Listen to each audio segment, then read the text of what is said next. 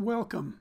In this video we're going to show you how to customize the toolbar in RootsMagic. Now the toolbar is basically a set of shortcuts. It's these buttons across the top and you can add your own buttons to this toolbar, uh, delete buttons, you can rearrange the buttons, and we're going to show you how to do that.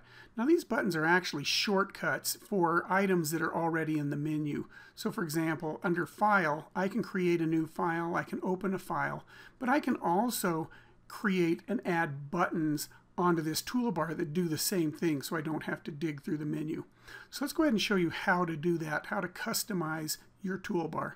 What you'll do is you'll point at the toolbar and you'll click your right mouse button, not the button that selects something, but the other one, the right mouse, and you're going to choose Customize. And when you do that, RootsMagic is going to bring up this Customize screen with several tabs. And the tab we're interested in is the Commands. And that tab is going to list the various commands, the various buttons that we can add to the toolbar.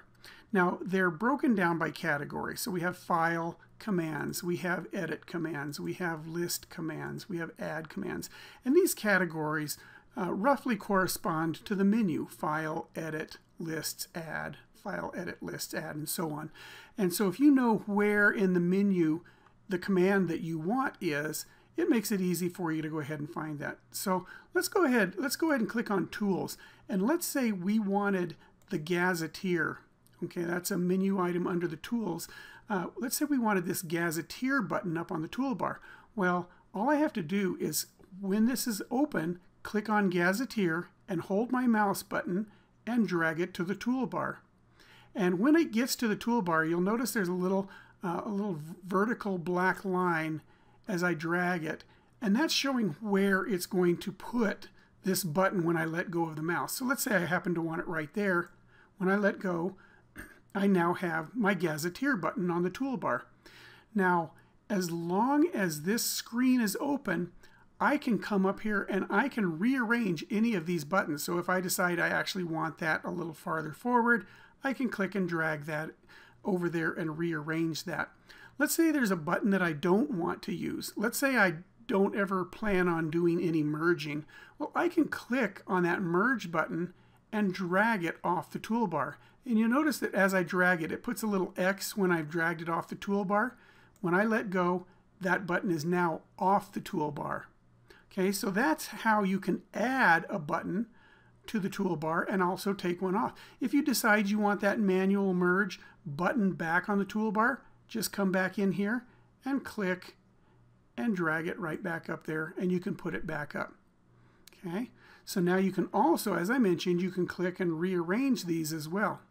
Now, let's say you happen to want to group these. You'll notice that RootsMagic groups buttons by putting this little vertical line in between certain groups.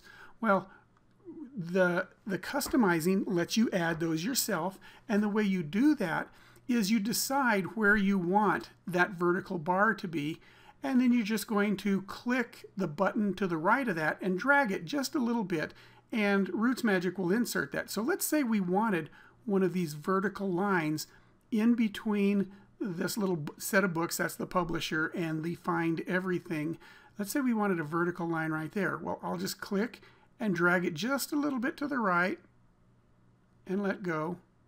And you can see it's added that. If I want to get rid of it, I can click and drag it back a little bit there and it will get rid of that. So you can just experiment with that, just kind of just kind of gently drag it over. You don't want to drag it too far because if you drag the button past the button on the other side, then it just moves the button. It doesn't leave the little the little space. So you can just sit there and move it back and forth in order to actually add or delete those little spacers. Okay, let's show you one um, one other thing here on the on the toolbar. If I go to the toolbars, you'll notice that I actually have uh, the main menu, and that's this menu right up here, and that cannot be turned on, can't be edited, can't be changed. This toolbar right here is the toolbar we're looking at, and I can actually uncheck that and make the toolbar disappear. Now, I don't advise you to do that, but if you wanted to, you can, and if you check it, you can have that come right back. But what's really neat is if you wanted to create a second toolbar, you can do that as well. I can come up here and click on New, and I'm going to call this my custom toolbar. Click OK. And RootsMagic adds another little blank toolbar right here. And that can be customized exactly the same way. So if I come back over here, I can say, okay, I want this to be just a bunch of file commands. So I'm going to add new, and I've already got new, but I can, I'm going to go ahead and add all of these file tool. So backup, let's go ahead and add import. We can add export. Okay, we can so we can add all of those, and, let, and, and let, we're fine with that. Now, once we've done that, you'll notice that the toolbars have a little a little a vertical set of dotted lines right there, and what those do is let me actually move the toolbar. So I could bring this and bring it up onto that same line. But likewise, I could actually bring it over here against the left side. So I can have a toolbar across the top, I can have a toolbar across the side. When I go into the toolbars for customize, I can turn that on or off. So I can make that visible or invisible. Okay, let's say I decide I don't want that after all, I can delete that toolbar. And it's asking, am I sure? I'm going to say yes, and it's deleted that toolbar. Now you'll notice you can't delete the main toolbar. That The main toolbar is protected. It's right there. But let's say that you decide that you, you've been messing around with this and you, you messed something up and you just wish it was back the way it, it normally was.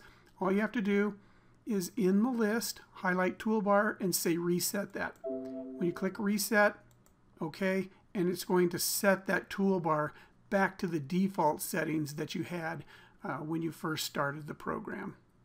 So I hope you've um, enjoyed this, uh, but that's how you can actually go in and customize your toolbar so that you can uh, add the commands you want, put the commands in the order you want, uh, and take, take commands off the toolbar uh, if they're ones that you're not going to use.